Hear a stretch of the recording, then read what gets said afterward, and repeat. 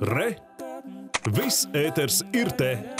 Finanšu ministrs Jānis Reirs ierosinājis disciplināru lietu un atstādinājis no amata valsts ieņēmuma dienesta ģenerāla direktori Ievu Jaunzemi. Rīkojums ir izdots gan uz dienesta pārbaudas ziņojuma pamata, gan reaģējot uz nesenajām korupcijas novēršanas un apkarošanas biroja aizturēšanām vidu nodokļu un muitas policijā, kā arī vidi iekšējās drošības pārvaldes veiktajām vairāku darbinieku aizturēšanām. No amata atstādinātā valsts ieņēmuma dienesta ģenerāla direktori Ievu Jaunzemi mums šorīt pievienojas uz interviju. Labrīt! Labrīt! Labrīt. Pirms mēs jautājām jums par par atstādināšanas iemesliem un jūsu argumentiem kopš 2019. gada 11. februāra vadāta valsts ieņēmuma dienas. Nu, īsti pirms tam, 23. janvārī, sāka darbu jaunā valdība, arī finanšu ministrs Jānis eh, Reirs. Sakiet, kāda ir bijusi jūsu un finanšu ministra Jāņa Reira sadarbība, komunikācija šogad laikā?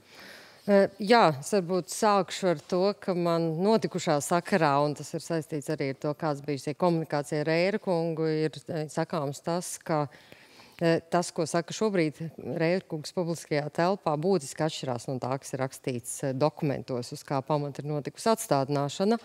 Un es, protams, saprotu, ka šajā priekšvēlēšana laikā Reirkungam iespējams nebija izvēles, kā tikai lai kliedētu visas šaubas, mani atstādināt un ierosināt šo disciplināru lietu. Man tas nav patīkami, bet es esmu gatava iziet cauri tam procesam, lai pierādītu to, ka nav pamatotas visas tās bažas, kas ir izteiktas iepriekš, jo iekšējās drošības pārvalde vienmēr sadarbojasies ar knābu, un visi tie rezultāti ir nākuši mūsu kopējā darba rezultātā.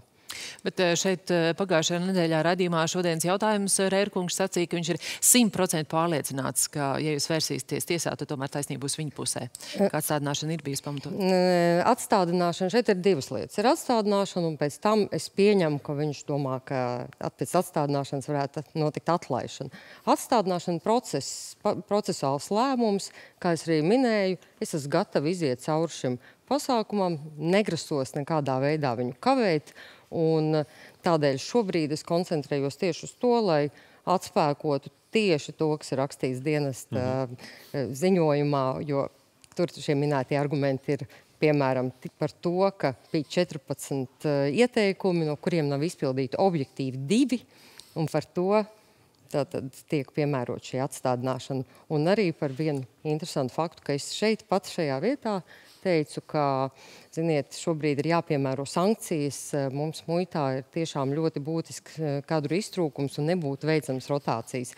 Un tas bija tas iemesls, es runātu par ieganstiem. Jā, tas rotācijas plāns, ap citu, jūs tiešām mūsu intervijā šeit arī bijāt minējis, ka tas netiks veikts, bet eh, tas tika paziņots ministram. Kā ministrs tajā brīdī reaģēja uz to? Eh, tā tad nebija runa par rotācijas plānu, kā tādu bija runa par muitu, ļoti konkrētu struktūru vienību, kura ir atbildīga par Eiropas Savienības sankciju ieviešanu.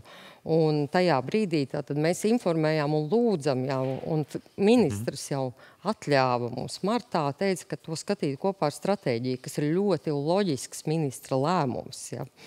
Bet tātad šis rotācijas plāns, viņa ieskatā arī varēja netikt realizēts tajā brīdī. Tātad viņš skaidri, jo viņš kaut kāds mājām bija pieprasīts. Viņš ir norādījis savā vēstulē, ka viņš ir skatāms kontekstā ar stratēģiju, kas ir ļoti loģisks ministra lēmums, ko mēs arī tā arī sapratām.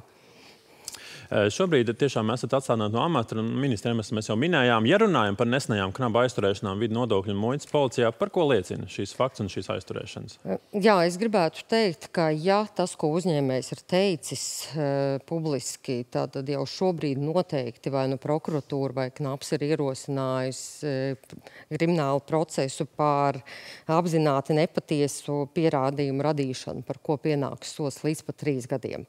Tātad man, protams, tas nav, es gribētu teikt to, ka tas ir tas, ko kam būtu jābūt notikušam, ja tā ir tiesa. E, par ko tas liecina? Tas liecina par to, ka var apiet jebkuru manis vislabāk izveidoto sistēmu, jo šajā gadījumā cilvēks bija pieredzējis to, ka viņa kolēģus izved roku celšos. Viņš bija pieredzējis, kā citus e, ieņēmuma dienas darbiniekus izved roku celšos, un viņš vienalga darīja šo pārkāpumu. Tas nozīmē, ka sistēmā rops nav. Šobrīd, ja mēs skatāmies sistēmu, izveidot tā, ka ir vismaz sešu acu princips tam, lai ierosinātu kriminālu procesu. Un, protams, šobrīd ir uzdevums noskaidrot, kas ir noticis un kur tad vēl tas mazais caurumiņš ir bijis, pa kuru konkrētais cilvēks ir izlīdis ar savu ļaunprātību. Jūs sacījat, ka šis eh, konkrētais cilvēks bija pats eh, pieredzējis, kā eh, citi kolēģi tiek aizvesti roku dzelžos par mm, kādiem pārkāpumiem šajā darbā. Taču viens no argumentiem, ko arī finanšu ministrs jums pārmeta, ka jūs pārāk maz valsts ieņēmuma dienas pārāk maz stāsta par dažādiem pārkāpumiem, ko ir paveikuši darbinieki. Un arī tas tika minēts kā viens no iemesliem, kādēļ ministrs nav apmierināts ar jūsu darbu, sakot, ka um, tāda regulāra runāšana runāšana un stāstīšana par, par katru šādu gadījumu, ka tas arī uh, veicinātu to, ka citi kolēģi nerīkotos līdzīgi? Kā es arī vairāk kārtīgi saku, mums pārbaudot arī savu iepriekšējo, es izgāju cauri par visiem gadījumiem, ko ir konstatējis ieņēmuma dienas iekšējā drošības pārvalde, mēs esam nākuši ārā momentā. Momentā izklāstot visus apstākļus. Un tādēļ, ka mēs zinām, cik tālu mēs varam iet, lai netraucētu izmeklēšanu. Šajā gadījumā tas ir knap process. Un man nav tiesības atbilstoši nevienam likumam iet ārā un to stāstīt. Pie tam, ja es pat ietu un stāstītu, tas būtu krimināli sodām.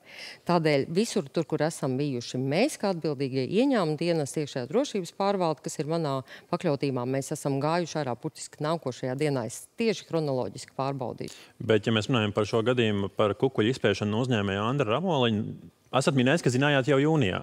Tas nebija laiks, kad, nu, piemēram, šajā lietā arī nāk klajā ar paziņojumu. Uh, ja ir ierosināts krimināla process, Tātad šajā brīdī tas, ka es zināju, nenozīmē, ka, lai, ka netraucētu kriminālu procesu. Es varēju atvērt durvis un teikt uh, konkrētiem cilvēkam, tu esi zaudējis man uzticībai prom pret tevīm kriminālu procesu.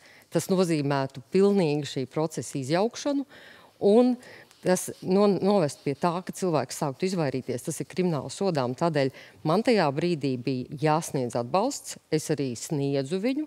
Un iekšējās drošības pārvalde darīja visu, lai notiktu tas, kas ir noticis.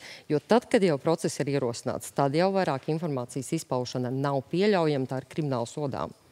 Bet uh, vakar arī izteicāties, ka šobrīd valsts ieņēmuma dienestā vēl tiek pārbaudīta sešu darbinieku rīdzība uh, par kādiem likuma pārkāpumiem. Vai varat precizēt, kas tie ir par likuma pārkāpumiem, kas tās ir par struktūrām un vai tas ir tā kā vienas lietas ietvaros šie seši darbinieki vai tie seši dažādi gadījumi par negodprātīgu rīcību? Ievērojot to, ka es esmu ieinteresēta tajā, lai šie visi gadījumi tiktu izmeklēti un viņi vainīgie saukt pie atbildības un ne, viņiem neļaut izvairīties. Protams, detalizētu informāciju es nosaukt nevaru, jo tas atkal apdraudētu šie krimināla procesi. Bet tas, ko es varu aicināt šos cilvēkus šobrīd, ja viņi zina, ka viņi dara likuma pārkāpumus, lūdzu manas iestādes, mana kolektīva vārdā, lūdzu to pārtrauciet un iespējams, ka jūsu sods būs mīkstāks.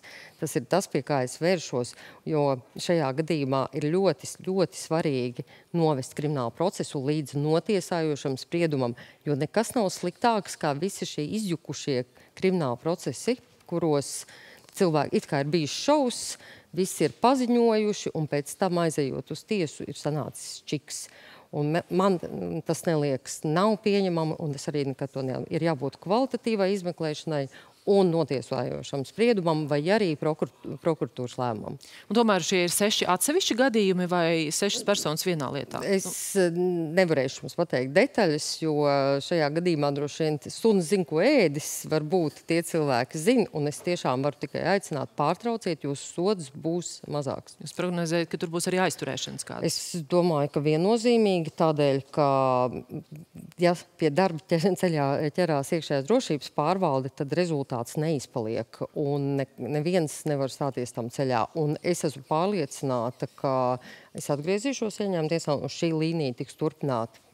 Kā ir šobrīd netiks traucēta šo procesu izmeklēšana? Es e, gribētu būt pārliecināta, ka ministru kabineta ieceltai pienākumu izpildītājs tikai un vienīgi turpinās manis iesākto un bezkompromisa cīņā sniegs atbalstu iešās drošības pārvaldēm. Es atceros, ka pirms stājoties amatā teicāt, citēju laika, kad pelēkie kardināli varēja ietekmēt vidu darbu, neatgriezīsies. Citāta beigas. Kā ir šobrīd šie laiki atgriezušies? Es gribētu teikt, ka lasot dienesta pārbaudes ziņojumu, man bija tiešām kauns par maniem kolēģiem Finanšu ministrijā. Jo viņš izskatījās tieši kā tāds prāta vētras auglis. jo bija katrā ir pretrunas punktos un izstījās, ka katrs ir minējis kādu argumentu, ko viņš vēl varētu pateikt. Kas to ir inspirējis? Jā, bija arī biroja pārstāvis šajā, šajā izmeklēšanas komisijā un, un tiešām ļoti augsti divi valsts sekretāri vietnieki. Es tiešām esmu caur lasījusi un caur manām rokām ir izgājuši daudz dienestu pārbaužu materiālu. Viņi ir parasti ir argumentēti. Šajā gadījumā tas ir tiešām tāds literārs darbs vairāk ar dažādiem apvainojumu elementiem. Un eh, noslēdzot šo, šo sarunu, vēl viens jautājums eh, par jūsu atstādināšanu vēl ir jālemj valdībai, un koalīcijas politiķi iepriekš bija arī izteikušies, ka arī gribētu dzirdēt vēl no Reira kunga kādus um, papildu argumentus par to, eh, kādēļ ir bijis šāds lēmums. Uh, vai arī ar jums kādi koalīcijas politiķi ir sazinājušies, lai prasītu jūsu viedokli? Es gribētu teikt, ka šodienas lēmums ir procesuāls, jo likums par valsts ieņēmumu dienestu skaidri pasaka, ir jāieceļ uz atstādināšanas laika pienākumu izpildīt izpildītājs. Tas ir procesuāls lēmums, jāizpilda likums.